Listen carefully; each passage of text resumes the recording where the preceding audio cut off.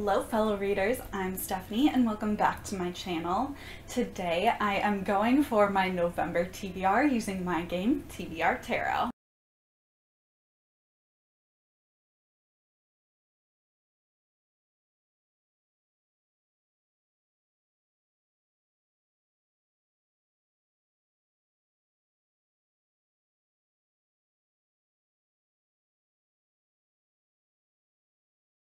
My first card was the Seeker of Wands, or this is also known as the Page of Wands.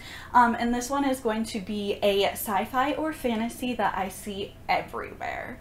And the book that I've chosen for this is actually going to be the Literally Dead Book Club's book of the month as well, and that is House of Hunger. I am so excited for this book. It like recently came out and I wanted to read it all October, but I just didn't get to it, um, which actually kind of works out because it is the November pick for Literally Dead Book Club. But either way, this book looks stunning and I am so excited for it. From what I know about this book, I believe it's about like vampires um, and our main character is someone who like lets a vampire use her blood and whatnot, but like there's a couple of other people who do that as well and people have started to go missing um, or like something's happening to them. So it's kind of like her trying to outlive whatever is happening. And I don't know, it just sounds so cool. And like I said, it's stunning. So I am so excited to get to this one this month.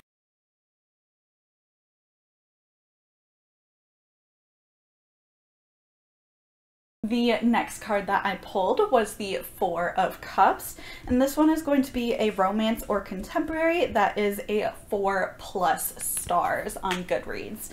So I did have a couple of options for this that I was looking at. All right, hello. Sorry to break, um, but my whole setup uh, fell and I didn't realize that the microphone sounded awful until I was editing. So here I am editing Stephanie to uh, finish this video. My first thought was take a hint Dani Brown.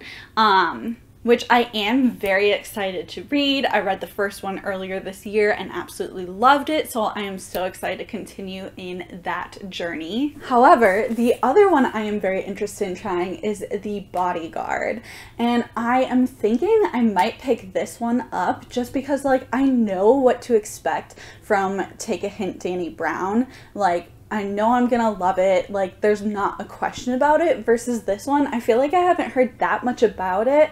And, like, I'm just very intrigued. I want to know, like, will I like it? Will I not? I don't know. So, I do think I'm going to choose this one.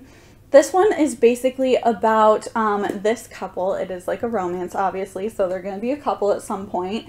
Um, but I think he is famous in some sort of realm, um, and she is hired to be his bodyguard. However, they don't want the world to know that he has a bodyguard. So they are actually coming off as if they are fake dating. Um, so that you know, she can be his bodyguard without anyone knowing. So it just sounds like it will be a really fun time. I'm really excited to try it. So this is my next choice.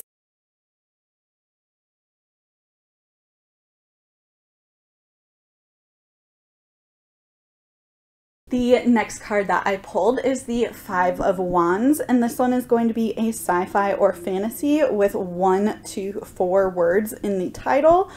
And as you saw, I did roll a three. So I ended up choosing These Violent Delights. I have only heard good things about this one and it's actually on my list of 22 books that I want to read in 2022.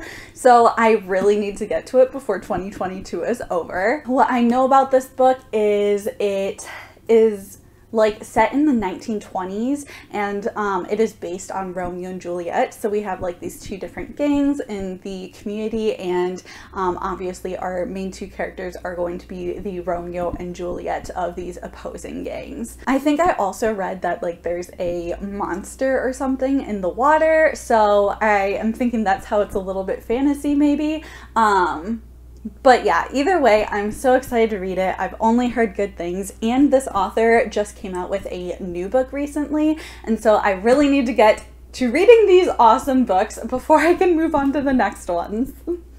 So that being said, this is my next selection.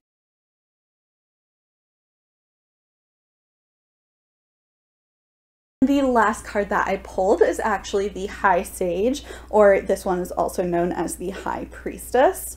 And this one means it I need to continue a series. It can be any genre that I want, I just have to continue a series. Again, this one I felt like I could have chosen Take a Hint Dani Brown, but another book that I am so curious about is It Starts With Us. This is the second book after It Ends With Us, and from what I know, this one is kind of following Atlas and Lily after they like kind of bump into each other at the end of it ends with us and then this is going to be kind of like their love story and like what happens after the fact. So i am very intrigued to see what happens. Obviously it's such a huge book so i am very interested in getting to this asap so all of these plus the house of hunger are going to be my four books for tbr tarot this month. I did only read or roll a four for the total count of cards to pull. So um, this is kind of a short stack. However, I do know I am going to be reading a couple of other books.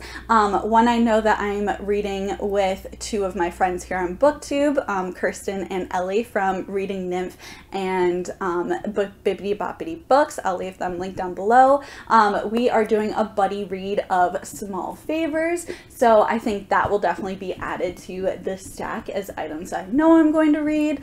Um, and then I was really sad that I didn't get to Kingdom of the Wicked during Halloween spooky season, so I might try to still do that one. Um, I know that I had gifted this to one of my other friends here on BookTube, Tara from Kara's Bookshelf, and so I'm wondering if maybe she's ready to read it and we could do like a buddy read as well, but we will see. So if you liked this video, please like and subscribe down below. And I would love to know what books you're reading in November or even just what books you're trying to get to throughout the rest of the year. And until next time, keep reading!